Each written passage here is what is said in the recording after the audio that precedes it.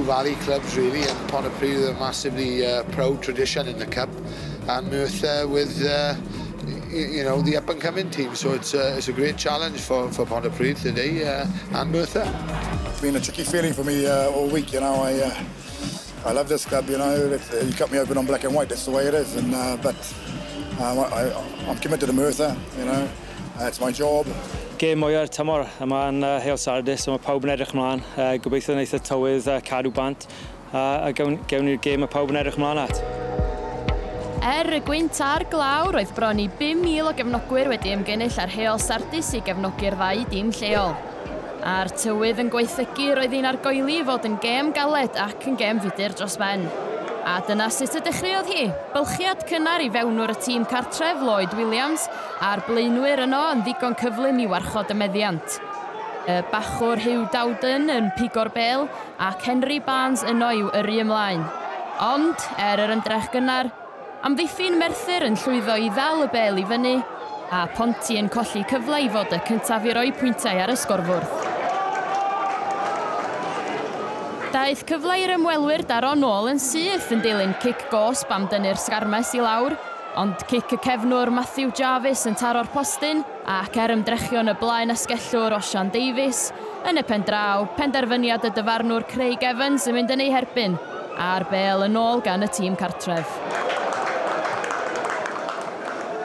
Y tywydd yn mynd o ddrwg i waith ym Mhontypridd, a'r un oedd hanes cyflwr y cae. Tafliad llwyddiannus gan y bachwr Rhys Williams yn arwain at sgarmau symudol drwy'r mwd, cydweithio da rhwng y blaenwyr a'r olwyr ac amddiffyn Pont y Prydd yn edrych braidd yn simsan wrth i ferthyr groesi'r llinell. Y blaen asgellwr Osian Davies yn hawlio'r cais. Y pac yn edrych yn gryf wrth ymosod o'r lein, Ond Matthew Jarvis unwaith eto yn aflwyddiannus wrth gicio ac felly yn anffodus y sgôr yn parhau yn 5 i ddim i'r ymwelwyr. Ond cic gos bu bont y prif yn cael ei drosi gan gynfaswr Cymru Ceri Sweeney yn closio'r sgôr cyn yr egwyl.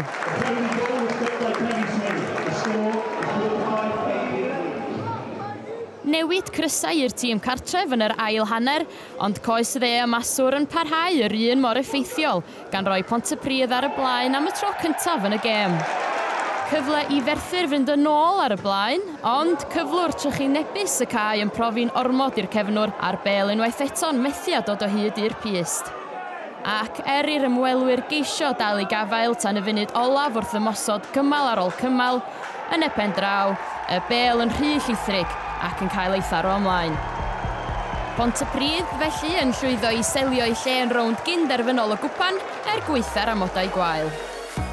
Obviously disappointing, you know, I thought we were in a chance to win the game. Uh, you know, the conditions were awful out there today, but, you know, both sides, but, uh, you know, went out there hammer and tong and, uh, you know, a couple of errors cost the second half, which, uh, you know, we uh, didn't regret, regret really. Canlyniad uh, arbennig, so bles iawn. Uh, yn gwybod bod e'n mynd i bod yn gêm galed. Lan ffodus gyda'r cyfleusterau. Uh, y nath e falle ni e ddim yn gallu chwarae math o gêm yn i eisiau, ond uh, pob clod i'r boys, swod, yr ymdrech at mewn i ennill y gêm, oedd yn arbennig.